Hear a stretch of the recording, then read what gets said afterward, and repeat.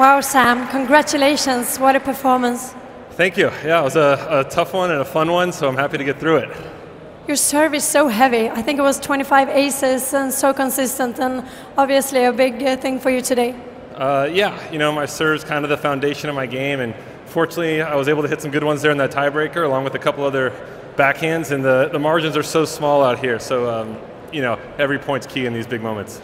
You played him three times before, and you never beat him before. Uh, what was the key to the victory today?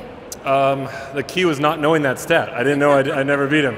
Um, but just staying with it, he's such a great player, and he's, um, you know, he's kind of he's turning his, his, year around semifinal in the U.S. Open, and so you know he's always a fun player to watch and a, a great guy. So um, you know a, a, win against him feels pretty good.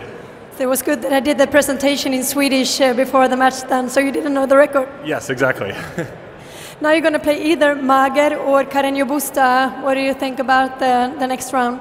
Uh, both guys are good. You know, anytime guys reach the quarterfinals, no matter who they are, they're playing well. So, uh, you know, it just gets tougher the further along you move in the tournament.